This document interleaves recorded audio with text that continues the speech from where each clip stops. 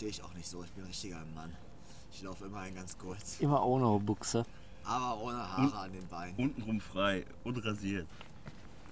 Bei diesen tiefsinnigen Fachgesprächen. Wo geht nicht, nicht, wo geht die Sonne auf? Wie kriegen wir seine, wie kriegen wir seine Füße am besten in den Dampf? Ja, ich bin Henning Fengels, 27 Jahre alt. Was war die Frage? Warum Ultra? Einmal die Herausforderung. Kann ich das? Schaffe ich 100 Kilometer zu laufen? Ich bin einen Marathon gelaufen, bin durchs Ziel gekommen und habe gedacht, hä, das ist das, wovon alle reden und das hat mir nicht gereicht. Und äh, ja, jetzt, ich glaube, ich will einfach wissen, ob ich 100 Kilometer laufen kann.